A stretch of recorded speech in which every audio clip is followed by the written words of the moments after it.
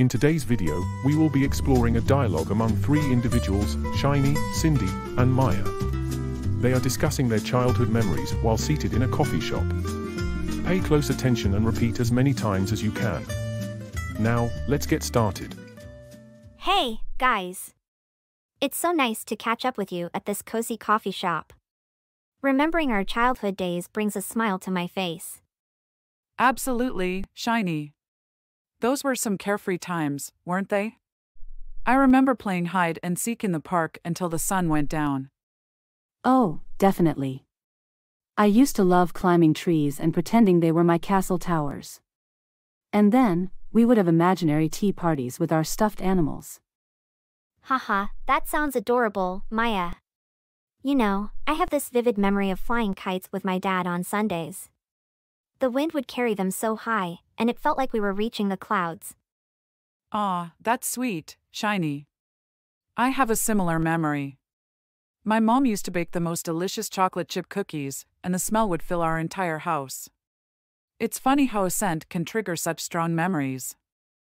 Oh, I totally get that, Cindy.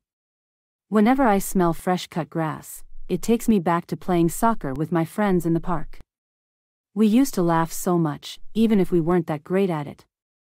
It's funny how these simple moments stick with us, isn't it? I remember building sandcastles at the beach. The sound of the waves and the feeling of the sand between my toes was so soothing. Oh, yes. Beach days were the best. And speaking of water, I recall going fishing with my grandpa. He was so patient teaching me how to cast a line, even if I mostly caught seaweed. Ha, that's adorable, Cindy. Well, I have to say, one of my fondest memories was having picnics in the backyard with my family. We would spread out a big blanket, share sandwiches and fruit, and just enjoy each other's company. That sounds lovely, Maya. You know, it's these little moments that shape who we are today. I'm grateful for those times of innocence and joy. Absolutely, Shiny. Childhood memories are like treasures that we carry with us forever. It's nice to sit here and reminisce, surrounded by the aroma of coffee and the warmth of friendship. I couldn't agree more, Cindy.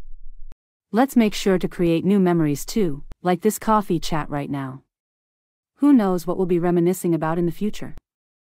You're right, Maya. Cheers to making more memories together, no matter where life takes us. Cheers. Cheers get, get, get